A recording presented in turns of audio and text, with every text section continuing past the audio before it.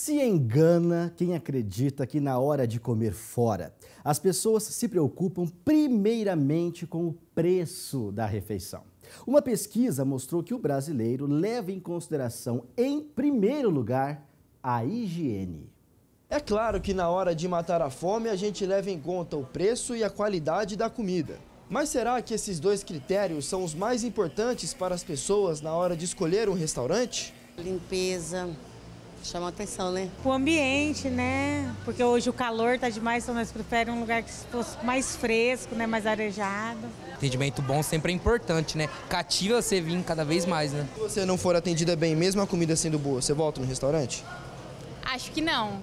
Uma pesquisa feita pelo Sebrae em parceria com a Associação Brasileira de Bares e Restaurantes ouviu mais de 6 mil pessoas em todas as regiões do país.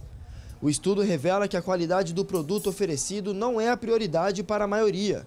A higiene e a limpeza no local ficaram no topo da lista, com 32,4%. No segundo lugar está a educação dos atendentes e, em terceiro, o ambiente do estabelecimento. Só depois desses três itens é que o público leva em conta o sabor da comida. Dono desse restaurante em Araçatuba, o Roberto não abre mão do bom atendimento para atrair mais clientes.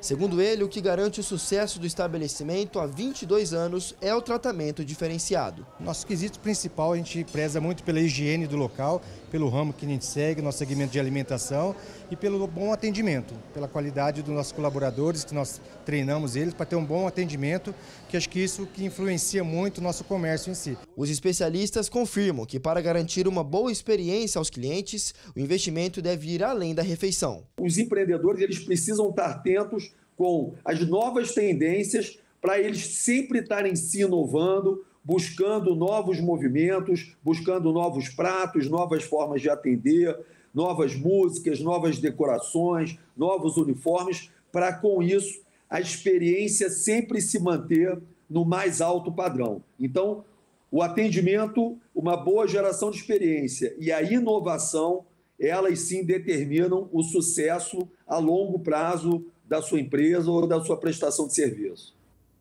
É, na verdade é um combo de fatores. Né? O cliente normalmente faz uma análise geral. O que atrai primeiro, pelo que a pesquisa mostrou, é a higiene e a organização. Agora, se o produto for bom e o preço justo, o consumidor volta. E se o atendimento também for bom, aí o cliente indica para amigos e parentes. E olha, a propaganda boca a boca, que hoje acontece também pelas redes sociais, ou até principalmente pelas redes sociais, é o que faz toda a diferença.